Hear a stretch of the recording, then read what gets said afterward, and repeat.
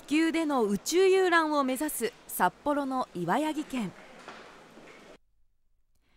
岩谷技研は気球の制御や人が乗るキャビンで特許を取得。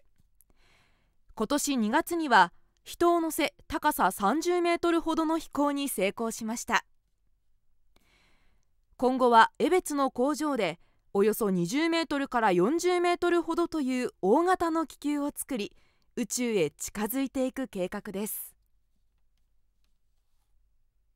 まあ、今現在はあの人一人飛ばすこと、まあ、低高度で飛ばすことはできているんです。これはいろんな強度パーツからものもろもろですね。含めても十二分な強度のものは私たち作れています。これをスケールアップしていくことが今後の目標でしてスケールアップすることでより高い高さに行くことができます。技術的なことに関しましてはあの私そんなに難しいと思ってないんですよ。これはできることだということで考えてるんですが難しいのはやっぱりあの安全をしっかりしてやりましょうということには、まあ、社員の教育だったり社員全体の認知だったりそういうことがとても大事になってくるんですね。これまでに集めた資金はおよそ6億円